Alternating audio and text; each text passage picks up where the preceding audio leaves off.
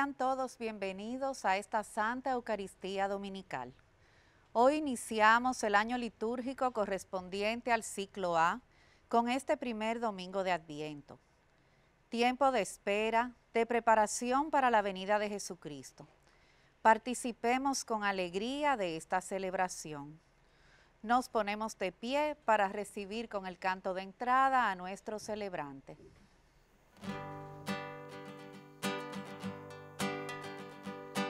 Ven, ven Señor, no tardes. Ven, ven que te esperamos. Ven, ven Señor, no tardes. Ven pronto Señor.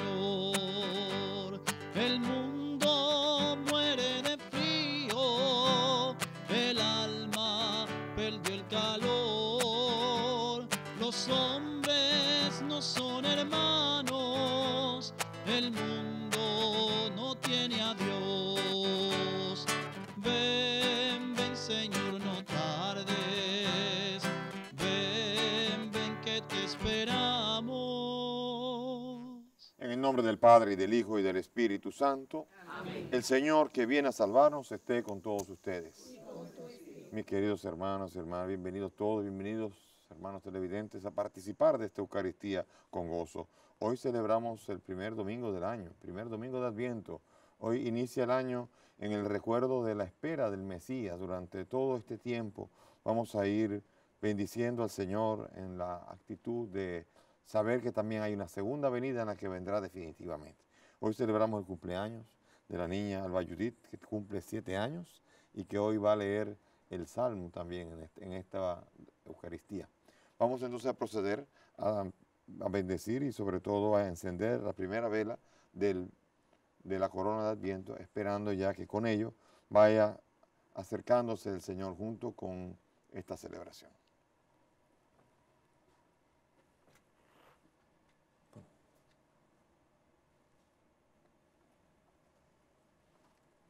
Hermanos, al comenzar el nuevo año litúrgico vamos a bendecir esta corona con que inauguramos también el tiempo de Adviento.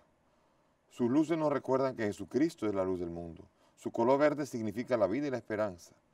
La corona de Adviento es, pues, un símbolo de que la luz y la vida triunfarán sobre las tinieblas y la muerte, porque el Hijo de Dios se ha hecho hombre y nos ha dado la verdadera vida.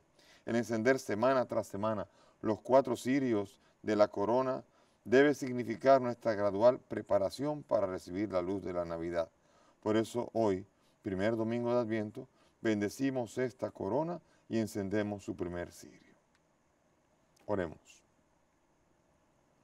La tierra, Señor, se alegra en estos días, y tu iglesia desborda de gozo ante tu Hijo el Señor, que se avecina como luz esplendorosa para iluminar a los que yacemos en las tinieblas de la ignorancia, del dolor y del pecado. Lleno de esperanza en su venida, tu pueblo ha preparado esta corona con ramos del bosque y la ha adornado con luces. Ahora pues que vamos a empezar el tiempo de preparación para la venida de tu Hijo, te pedimos, Señor, que mientras se acrecienta cada día el esplendor de esta corona con nuevas luces, a nosotros nos ilumines con el esplendor de aquel que por ser la luz del mundo iluminará toda oscuridad. Él que vive y reina por los siglos de los siglos. Vigilantes encendemos la corona del adviento. En sus cirios ofrecemos cuatro etapas y un encuentro. Y ahora vamos a presentarnos al Señor humildes, reconociendo ante Dios y ante los hermanos que somos pecadores.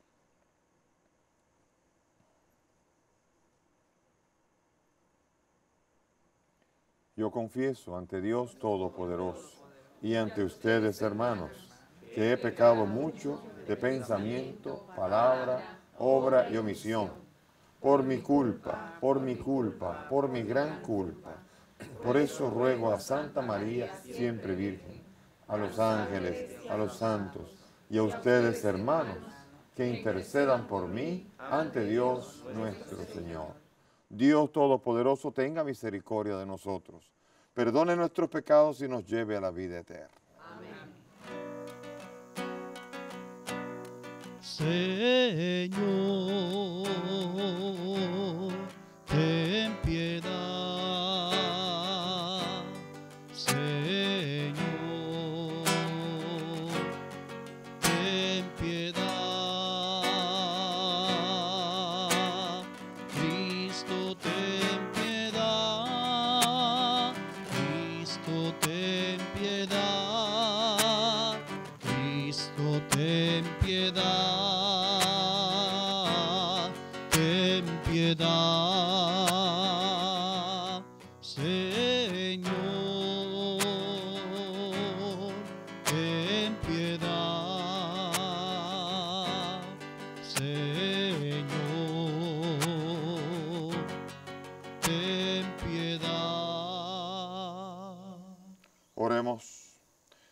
Dios Todopoderoso, aviva en tus fieles, al comenzar el adviento, el deseo de salir al encuentro de Cristo que viene, acompañado por las buenas obras, para que colocados un día a su derecha, merezcan poseer el reino eterno. Por nuestro Señor Jesucristo, tu Hijo, que contigo vive y reina en la unidad del Espíritu Santo y es Dios por los siglos de los siglos. Nos sentamos para escuchar la palabra.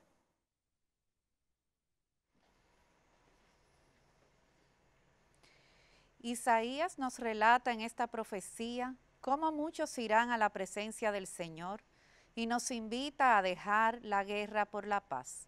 Escuchemos con atención este mensaje.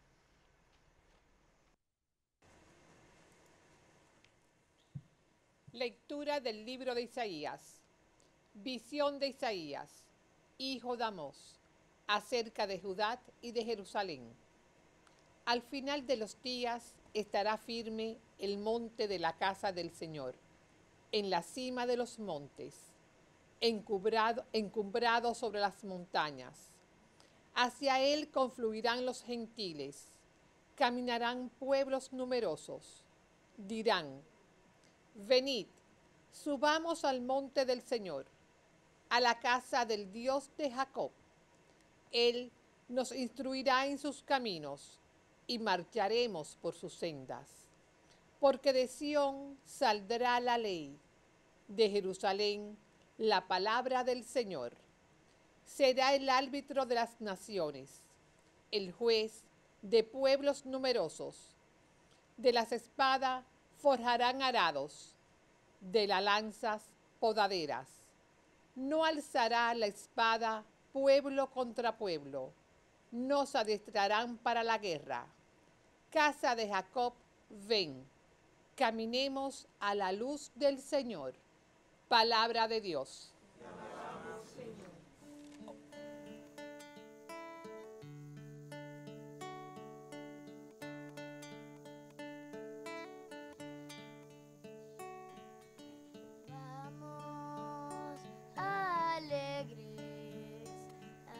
Casa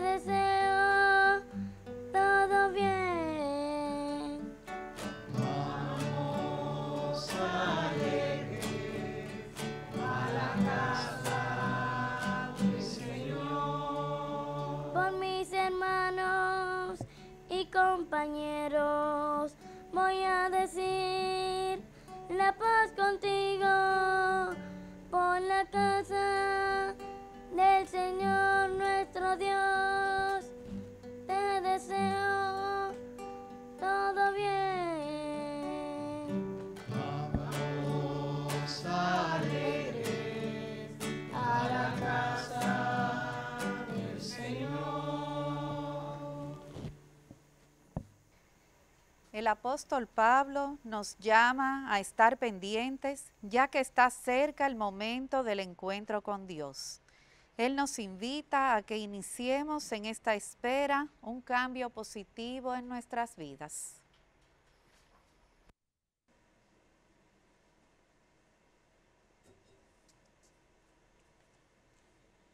Lectura de la carta del apóstol San Pablo a los romanos. Hermanos, daos cuenta del momento en que vivís. Ya es hora de despertaros del sueño, porque ahora nuestra salvación está más cerca que cuando empezamos a creer.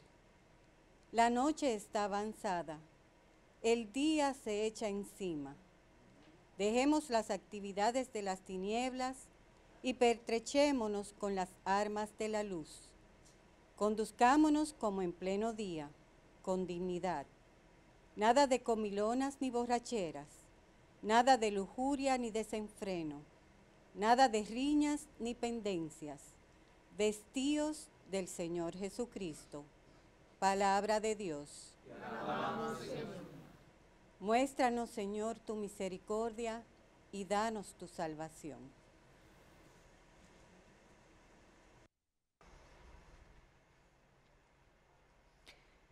Jesús nos invita a estar vigilantes, saber discernir cuál es la voluntad de Dios en cada, en cada situación puede ser la mejor manera de vivir preparados.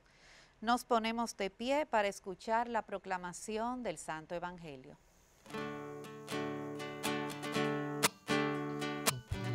palabra vida, confío en ti, Señor.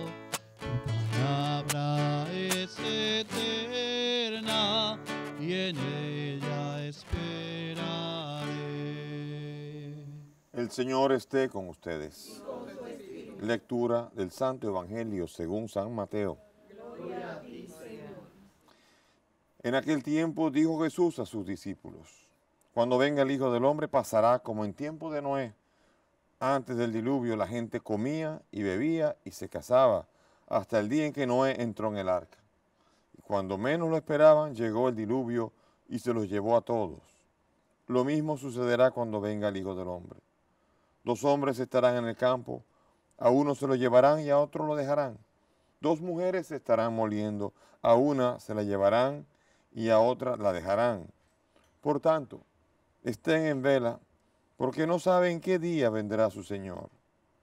Comprendan que si supiera el dueño de casa a qué hora de la noche viene el ladrón, estaría en vela y no dejaría abrir un boquete en su casa. Por eso, estén también ustedes preparados, porque a la hora que menos piensen, viene el Hijo del Hombre. Palabra del Señor. Siéntense, por favor. Bien, mis hermanos, hoy estamos iniciando el año. Hoy ha cambiado todo. La semana pasada cerramos todo con, con una especie de culminación de, de la historia en Cristo Jesús. De hecho, lo celebramos en esa bella celebración en, el Parque Eugenio María de Hostos, en esa caminata, un paso por mi familia, que fue una culminación hermosa de un camino de iglesia que celebraba la historia de la salvación en todo un año. Ahora vuelve, vuelta a comenzar, volvemos otra vez a comenzar y a rememorizar cuando el pueblo de Israel estaba esperando el Mesías. Fíjense, no fueron ni dos ni tres días, fue un tiempo largo, fue un tiempo largo y ahora hay que imaginarse el pueblo de Israel esclavo en Egipto, el pueblo de Israel en el destierro, el pueblo de Israel en diferentes situaciones esperando la venida del Mesías. No fueron ni uno, ni dos, ni tres días. Siempre se hablaba de esto y seguramente muchas personas eh, habrían perdido ya la esperanza. ¿Qué Mesías? ¿Qué Mesías que viene? ¿Y cuándo que va a venir? Y la, la idea que hay es de que la espera, aunque sea larga, es una espera de todo un pueblo que camina en la fe y que espera que Dios, que ha cumplido, seguirá cumpliendo sus promesas. Y por esto, aunque, aunque se retrase, aunque parezca retrasar todo, sin embargo Dios nos sigue invitando a vivir y y a vivir de la esperanza, a vivir en esa confianza en el Señor, en esa peregrinación, como se cantó tan hermosamente en el Salmo, esta peregrinación que es a más que a Jerusalén, no es la Jerusalén de la tierra. Así vivieron durante siglos los, los israelitas, entendiendo que yendo a Jerusalén llegaban a lo más alto que podían llegar, al lugar teológicamente más elevado, a lo más sublime. Sin embargo, San Pablo mismo nos va a recordar, eso no es nada para lo que es la verdadera Jerusalén para la cual estamos nosotros peregrinando. Nosotros los cristianos somos peregrinos de una Jerusalén que es la libre, como dice Pablo en la carta a los Gálatas. Y para esto hemos sido llamados a la libertad. Tenemos que aprender a, liberarnos auténticamente y ayudar a liberar a los demás. Cristo Jesús es el liberador, esa es una de sus características. Ya ha venido a liberarnos de la ley, ha venido a liberarnos de nuestros prejuicios, ha venido a liberarnos de todo obstáculo para que nosotros podamos encontrarnos como hermanos. Miren, constantemente estamos poniendo muros. Los muros de la discriminación, los muros del prejuicio, los muros que nos separan. Y eso también dentro de la iglesia, no se crean. Nosotros también tenemos dentro de la iglesia muros que nos separan y ponemos eh, dificultades para poder vivir la fraternidad a la que Dios nos llama. Dios nos llama a encontrarnos. Pablo habla, eh, el Papa Francisco habla de la cultura del encuentro. Comencemos por el encuentro dentro de la misma iglesia, de la misma casa de Dios, que tenemos que aprender a encontrarnos para no estar simplemente unos oprimiéndonos los unos a los otros dentro de la iglesia, dentro del lugar en donde se supone que se debe vivir la fraternidad y debemos vivir verdaderamente la libertad de los hijos de Dios. Por eso el Adviento es un tiempo de esperanza.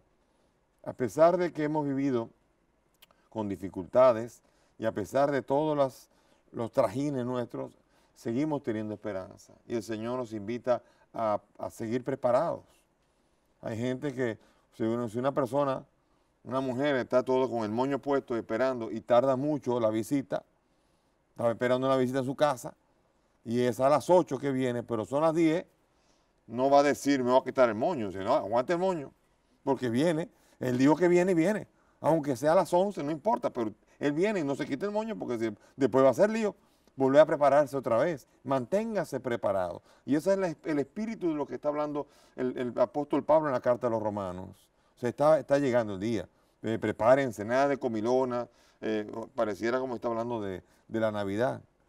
O sea, paradójicamente, la Navidad la vamos a preparar con comilonas y borracheras cuando es exactamente lo que Pablo nos está diciendo que tenemos que aprender a vivir. Una vida de preparación auténtica, de entender dónde está el foco de atención de nuestro propósito de vivir. Y es vivir para el Señor, vivir, para, esa venida.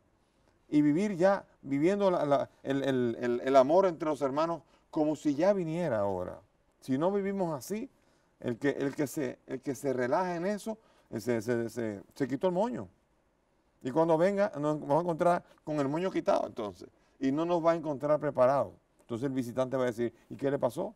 ¿Por qué no me espera de una manera digna? Y el Señor está esperando, nos está esperando, o sea, digo, el Señor espera que nosotros lo esperemos de una manera digna, de una manera adecuada, un modo de vivir adecuado, en el cual podamos ser dignos de acoger la salvación que Él viene a traer. Y eso que no sabemos el día, Él no avisó, no nos mandó un, email o un tweet o un, o un mensaje, no nos chateó diciendo qué día llega, qué vuelo, a qué hora llega, no sabemos. La esperanza es exactamente eh, tener el corazón abierto y no hay, no hay hora, si no, no habría esperanza, dice Jesús. Si hubiera, si el ladrón dijera cuándo viene, entonces ya no habría la sorpresa, ya no habría, eh, nadie dejaría abrir un boquete. Y él comparó, dijo, va a ser algo así. ¿Por qué? Porque la venida del Señor, la consumación del tiempo, no es en un día específico, sino es cuando esté el, tiempo, esté consumado plenamente, cuando llegue la plenitud de los tiempos. Y por eso el mismo Jesús, tratando de hacer interpretación desde la tierra, él estando con, con los, con su pueblo, él decía, ni el Hijo del Hombre sabe, porque desde aquí no sabemos hacer esos cálculos. Desde aquí no sabemos cuándo es que viene. No tenemos la calculadora que nos dice a nosotros cuándo viene el Señor. El Señor sí lo sabe. ¿Cuándo vendrá de nuevo el Mesías? Ahora, el problema es que el Mesías le costará venir si nosotros seguimos oprimiéndonos los unos a los otros. Al Mesías le costará venir, mientras en la Navidad uno coma un plato exquisito y el otro tenga pena para qué comer. No está preparado el tiempo. El caldo de cultivo para la venida de Cristo no está listo mientras haya semejante tipo de divisiones y desigualdades. Por eso los cristianos tienen una tarea. Y si uno mira bien, todavía hay mucho que hacer, mucho más en América Latina, continente en donde hay más diferencia entre las personas, desigualdad social. Poca, no, hay ninguna región con tanta desigualdad social como América Latina. Por lo tanto, América Latina tiene que prepararse bien. Y, y para, para colmo, eh, América Latina es donde más se pachanguea en la Navidad, en lugar de estar preparando auténticamente un, un espíritu de, de hermanos. Yo creo que la Navidad más hermosa es la Navidad en la que nosotros pudiésemos sentarnos todos juntos y amarnos y preocuparnos y preguntar quién necesita algo y en qué podemos ayudar. Y una Navidad perfecta es la Navidad en la que yo me siento con aquella persona que yo no podía perdonar o que yo rechazaba y que ahora quiero abrazar y quiero acoger. Navidades van, Navidades vienen y seguimos con los mismos rencores, con las mismas cosas y con las mismas mañas. Y tenemos que aprender a descubrir que San Pablo nos está pidiendo prepararnos. Y tengo- tenemos que preguntarnos si con el paso de los años de veras estamos preparándonos. Si este adviento comenzamos mejor que el adviento del año pasado y del adviento de hace cinco años.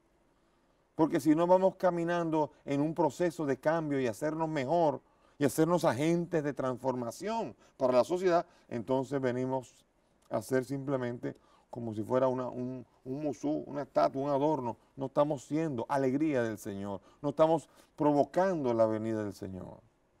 El tiempo de Adviento es un tiempo en que hay dos momentos. Primero, recordamos que el pueblo de Dios esperó la venida del Mesías, pero eso nos hace también recordar que el Señor volverá a venir, Él volverá otra vez. Y la segunda venida, la venida definitiva, tiene que ser cuando nosotros los cristianos hayamos preparado el caldo de cultivo para que el pueblo de Dios esté verdaderamente unido y preparado para esa venida. Hay gente que dirá, ah, pues vamos, a vivir desorden para que no venga. Pero no es así. Hay gente que le tiene miedo a la venida del Señor.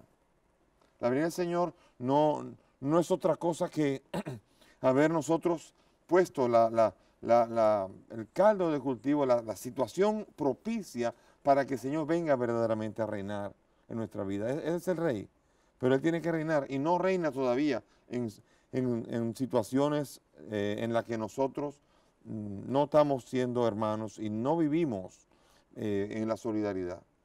Por eso el, tiempo de Adviento es un tiempo en el que, así como cuando alguien importante viene a la casa, hay que arreglarlo todo, hay que arreglar los muebles, hay que arreglarlo todo. En las casitas normalmente lo que hay, eh, todos los muebles están con, con el plástico, están todos pegados, pero el día de la fiesta no, el día de la fiesta hay que preparar todo, hay que sacar lo que estorba para que entonces se abran los muebles y entonces no, no tengamos que también el día en que viene alguien importante tenga que sentarse en los muebles con dificultad para que pueda eh, sentarse cómodo.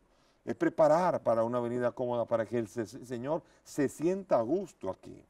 Me pregunto, si en la primera venida se sintió a gusto. Él quiso entrar aquí, a Jerusalén, y vio que lo rechazaron. Quería ir a Jerusalén y camino por Samaria, no lo recibieron. Él vino a traer la buena nueva y lo buscaron con palos en la mano. Después lo llevaron al Sanedrín y allí, después de, buscarle las cuatro patas, las cinco patas al gato, comenzaron a presentar las autoridades que lo entregaron a, ser flagelado, golpeado, machacado y después crucificado. Me pregunto si se habrá sentido bien, pero dudo. Ahora, ¿podremos preparar ahora una venida auténtica? ¿Podremos preparar la Navidad verdaderamente preparando su nueva venida? ¿Podremos hacer esto? Es una gran pregunta y es un desafío, es un reto para nuestra, nuestra, nuestro pueblo, nuestra comunidad. Si somos capaces de, verdaderamente de, no quedarnos en un culto externo. La misa, ¿eh? voy a decir, la Navidad, cuando llega Navidad, la misa sigue siendo más o menos la misma, con unos cuantos canticos diferentes. Sin embargo, lo que sí cambia es la casa, donde hay un fiestón de verdad. Entonces, ¿qué pasa? Que el culto pasa a ser algo rígido, algo que simplemente podría considerarse de cumplir. Ir a misa el día de Navidad y después a la pachanga, y ahí sí que la cosa se pone grande. Cuando es al revés, cuando la celebración de la fe es la que nos me va a definir qué verdaderamente fiesta de Navidad voy a celebrar. Y la fiesta de Navidad es la fiesta del compartir. La fiesta de Navidad es la fiesta del encuentro. La fiesta de Navidad es la fiesta del abrazo de los que ni se veían ni se hablaban. La fiesta de Navidad es la fiesta en la que alguien que sabe que tiene demasiado, da y ofrece un poco, bastante a lo que necesita. Y no ser tacaños en eso. Una cantidad de dominicanos se van a ir a diferentes lugares a, a esquiar incluso y a gastar dinero fuera del país, en diferentes lugares. Me pregunto si le, le agradará al Señor esto. Me pregunto si el Señor no está esperando de nosotros algo más. Preparemos bien la, la- la- Y aquí hay gente que está preparando ya su, su pasaje, su estadía, para dónde va a ir, cuánto va a gastar, su presupuesto y todo. Y va a ser dinero, mucho dinero, que se va a botar y que va a perder, echar a perder las muchas fiestas que se podrían hacer desde allí. Hagamos verdaderamente un acto de despertar. Despertemos del sueño, dice el apóstol San Pablo en la carta a los romanos. Estamos en un sueño y vivimos de un sueño en el que nosotros vivimos para nosotros, vivimos para nuestro propio sistema, para nuestra propia economía, para nuestra propia casa. Y hay que despertar. Primero, despertar con respecto a la familia, porque hay gente que verdaderamente está aislada de los demás en la familia. Pero también despertemos con respecto a los demás. No nos engañemos.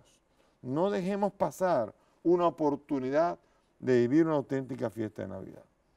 La mayoría, una buena cantidad, no la mayoría, pero una buena cantidad de la gente dice, llegaron las vacaciones. Las vacaciones. O sea, ahora me pregunto cuando uno le dice las vacaciones de Navidad, ¿qué, eso- qué es eso? ¿Qué significa las vacaciones de Navidad? Entonces, no son vacaciones, son momentos especiales para celebrar. Celebramos la venida del Señor, celebramos la solidaridad que Dios ha tenido con nosotros. ¿Cómo no tenerla nosotros con los demás? Que el Señor nos ayude. Una vela encendida. Cuando se encienda a las cuatro, ya estará cerca el nacimiento del Salvador. Esperemos que nos encuentre con la casa barrida, con los sofás puestos, esperando que el Señor venga a nuestra fiesta, que no se devuelva de la fiesta. Hay de fiestas en las que el Señor entra y nadie se da cuenta que llegó. Hay muchas fiestas en las que el Señor llega, pasea, saluda y nadie, nadie, nadie le hace caso. Y se tiene que ir. Ojalá que nosotros nos demos cuenta de la visita del Señor en esta Navidad. Pero eso será para la gente que está preparada, que será capaz de darse cuenta que el Salvador está cerca y que el Salvador ha venido a liberar a su pueblo de la indiferencia, de, la, de toda esta, esta cerrazón, esta ceguera que nos impide darnos cuenta que somos hermanos. Ojalá que el Señor, a través del aumento de la luz, de la corona del viento, nos ayude a quitarnos la ceguera y podamos ver mejor y percibir y encontrar a Cristo en todas las personas que encontremos en esta Navidad. Preparemos bien el camino, preparemos bien la fiesta, que no creamos, que no acabemos en la fiesta en la que nosotros nos culminemos en un, en un puerco y cambiemos al Señor por un puerco o por un, o por un poco de, alcohol y un poco de, baile, que no, cambiemos al Señor, que no dejemos pasar de largo esa visita. Si dejamos pasar esa visita, habremos dejado pasar el tesoro de esta Navidad y tendríamos que esperar a la otra. No esperemos a la otra. Hagamos de esta una Navidad de cercanía, porque eso es lo que celebramos, la cercanía de Dios. Y por eso la cercanía entre nosotros será la mejor Navidad que podremos celebrar. Preparemos durante todo este adviento la venida y que el Señor nos encuentre preparados. Amén. Nos ponemos de pie y vamos ahora a profesar nuestra fe, unidos a todos los que creen en Cristo y vamos todos a decir, creo en un solo Dios, Padre Todopoderoso, Creador del cielo y de la tierra, de todo lo visible e invisible. Creo en un solo Señor Jesucristo, Hijo único de Dios, nacido del Padre antes de todos los siglos, Dios de Dios, luz de luz, Dios verdadero de Dios verdadero, engendrado, no creado, de la misma naturaleza del Padre, por quien todo fue hecho, que por nosotros los hombres y por nuestra salvación bajó del cielo, y por obra del Espíritu Santo se encarnó de María la Virgen y se hizo hombre. Y por nuestra causa fue crucificado en tiempos de Poncio Pilato. Padeció y fue sepultado, y resucitó al tercer día, según las Escrituras. Y subió al cielo, y está sentado a la derecha del Padre, y de nuevo vendrá con gloria para juzgar a vivos y muertos, y su reino no tendrá fin. Creo en el Espíritu Santo, Señor y dador de vida, que procede del Padre y del Hijo, que con el Padre y el Hijo recibe una misma adoración y gloria, y que habló por los profetas. Creo en la Iglesia, que es una, santa, católica y apostólica. Confieso que un solo bautismo para el perdón de los pecados. Espero la resurrección de los muertos y la vida del mundo futuro. Hermanos, ahora que esperamos gozosos la venida de nuestro Señor Jesucristo, imploremos con más fervor su misericordia, para que así como vino a dar la buena nueva a los pobres y a curar los corazones desgarrados, también ahora en nuestro tiempo conceda la salvación a todos cuantos la necesitan. por la iglesia, para que en medio de la injusticia de este mundo sepa anunciar al que viene, el Señor nuestra justicia. Roguemos al Señor. Por los gobernantes, para que procurando el bien común, defiendan los derechos de todos y principalmente de los más débiles, roguemos al Señor. por los que están angustiados en trance de desesperación, para que encuentren junto a ellos una mano amiga que los levante y sientan la cercana liberación, roguemos al Señor. Por nosotros y por todos los que comparten nuestra esperanza, para que amándonos unos a otros, procedamos siempre agradando a Dios y cuando venga el Señor Jesús podamos presentarnos santos e irreprensibles ante Él. Roguemos al Señor. Te pedimos, Señor, por todos los televidentes y por todos los que estamos aquí, para que hagamos un auténtico camino de preparación para la fiesta de la Navidad, fiesta de la cercanía de Dios y los hombres. Roguemos al Señor. Te damos gracias por el don de la vida conseguido a Alba Judith, que cumple siete años, para que tú la bendigas y la ayudes siempre a ser una persona preparada para la venida del Señor. Roguemos al Señor. Dios Todopoderoso y Eterno, que salvas a todos, quieres que nadie se pierda. Escucha las oraciones de tu pueblo y concédenos que el mundo camine por sus tu senda de paz y que tu iglesia se alegre en tu piadoso servicio. Por Jesucristo nuestro Señor. Pueden sentarse.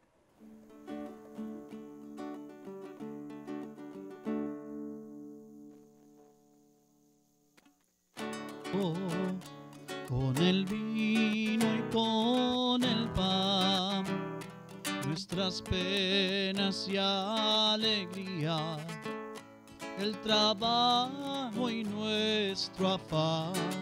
Te ofrecemos, Padre nuestro,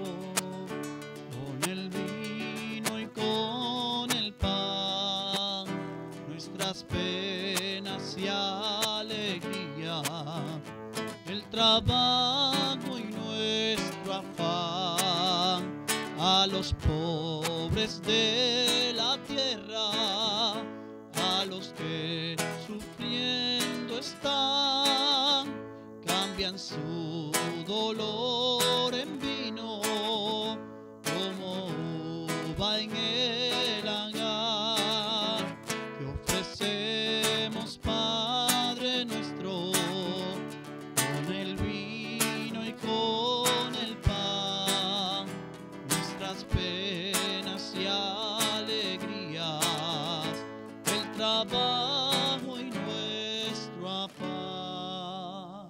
mis hermanos y hermanas para que este sacrificio que es mío de ustedes sea agradable a Dios Padre Todopoderoso.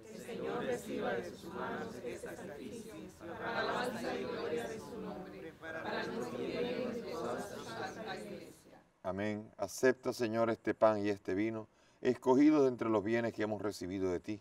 Y concédenos que esta Eucaristía que nos permite celebrar ahora en nuestra vida mortal sea para nosotros prenda de salvación eterna. Por Jesucristo nuestro Señor. Amén.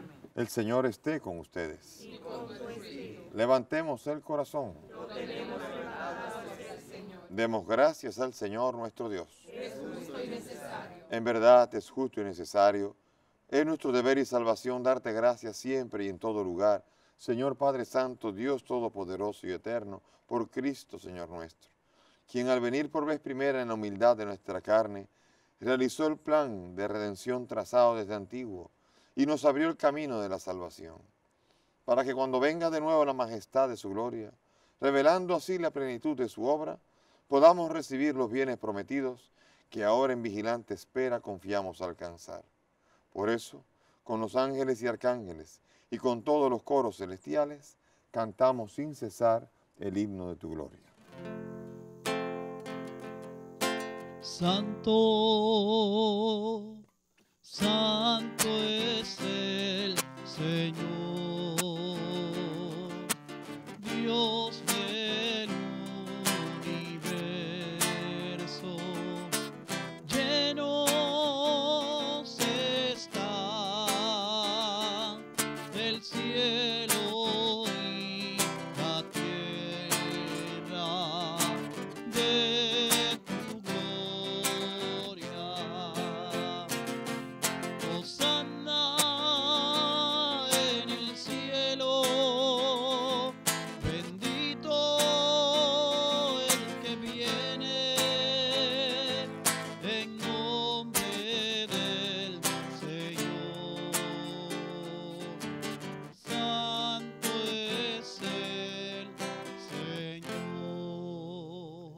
Santo eres en verdad, Señor, fuente de toda santidad.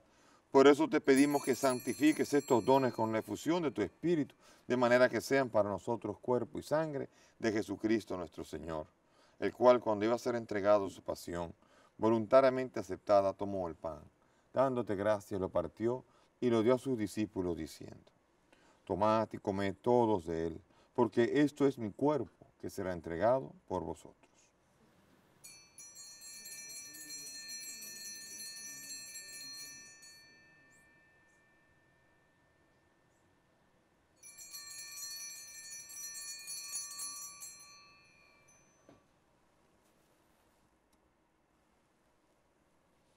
Del mismo modo, acabada la cena, tomó el cáliz y dándote gracias de nuevo lo pasó a sus discípulos diciendo, tomad y bebed todos de él, porque este es el cáliz de mi sangre, sangre de la alianza nueva y eterna, que será derramada por vosotros y por todos los hombres para el perdón de los pecados.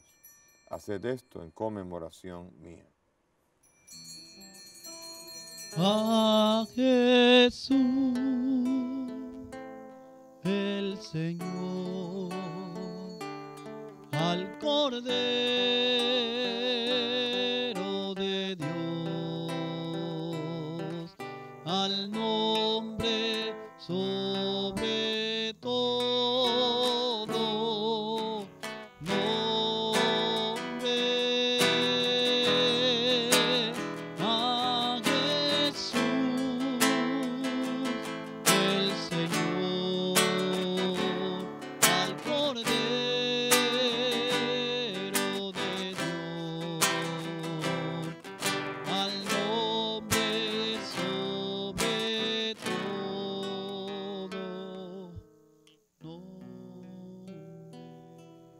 Mis hermanos y hermanas, Jesús está aquí presente en este altar. Él es el sacramento de nuestra fe.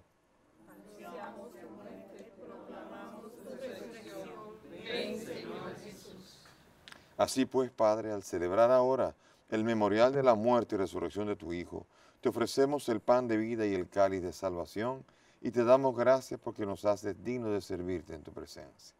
Te pedimos humildemente que el Espíritu Santo congregue en unidad a cuantos participamos del cuerpo y sangre de Cristo. Acuérdate, Señor, de tu iglesia, extendida por toda la tierra, reunida aquí en domingo, día en que Cristo ha vencido la muerte y nos ha hecho partícipes de su vida inmortal.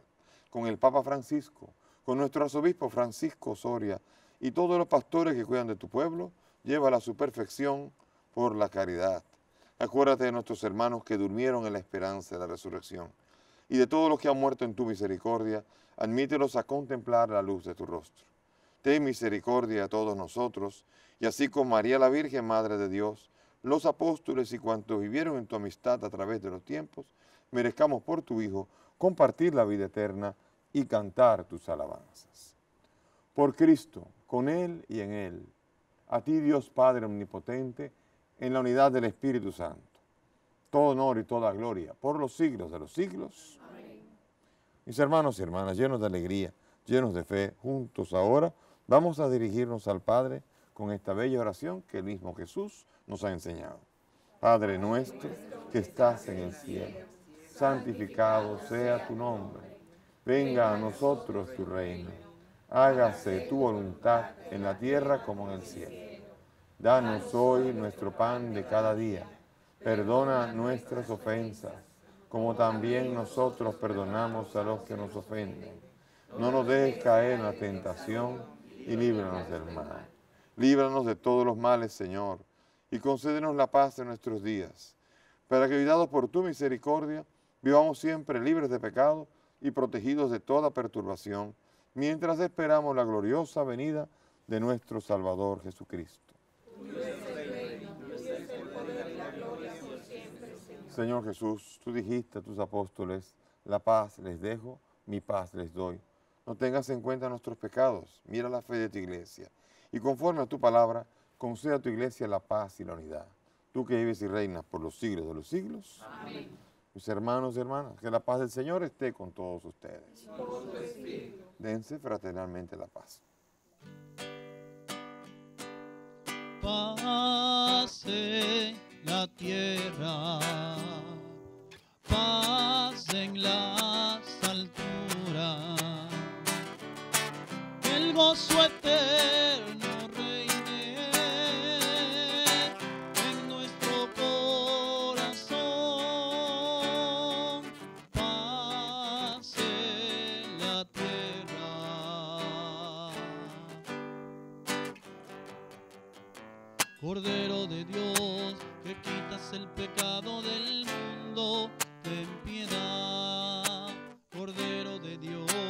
que quitas el pecado del mundo, ten piedad. Cordero de Dios, que quitas el pecado del mundo, danos la paz. Mis hermanos y hermanas, he aquí el Cordero de Dios. Él es el que quita el pecado del mundo. Dichosos nosotros los invitados a esta mesa. Cuerpo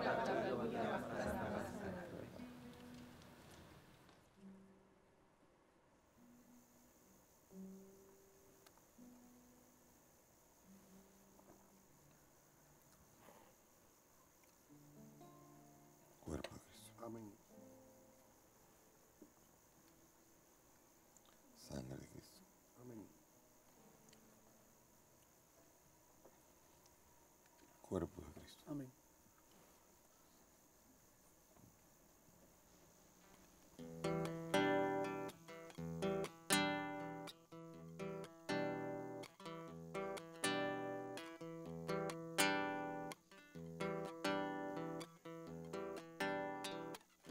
Yo sé que un día, no muy lejano, Él volverá a levantarnos y cuando Él vuelva, yo quiero estar preparado para volar hacia el cielo con Él. Él volverá, Él volverá, vendrá a juzgar a los vivos y muertos, vendrá a reinar por una eternidad. Y cuando Él vuelva, yo quiero estar preparado para volar hacia el cielo con Él. Él volverá, Él volverá. Aquí mis días terminarán, porque en sus brazos voy a morar.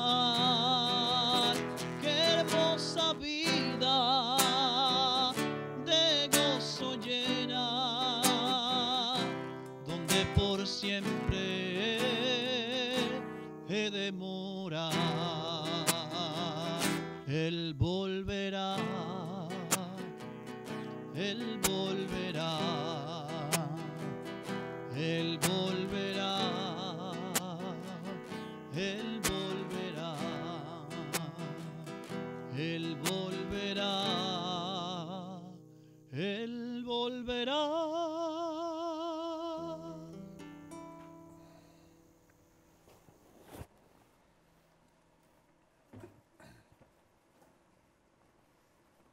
Oremos.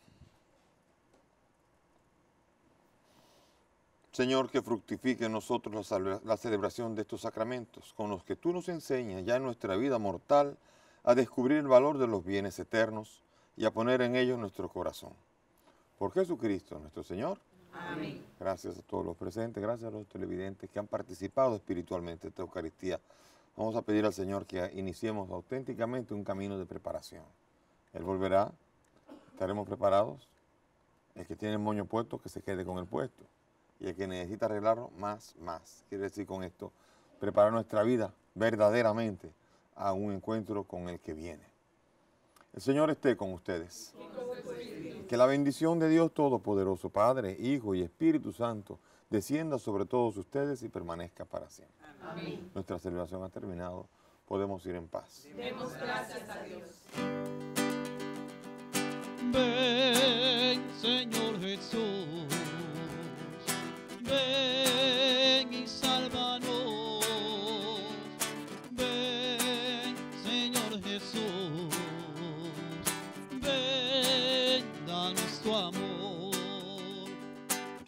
Señor Jesús, date prisa ya, no puedes tardar.